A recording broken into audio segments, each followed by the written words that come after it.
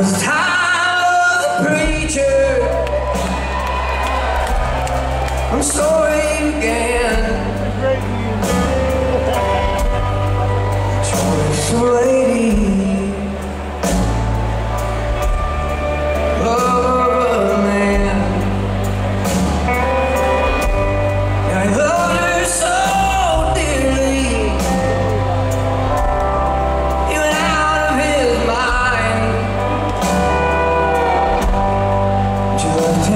someone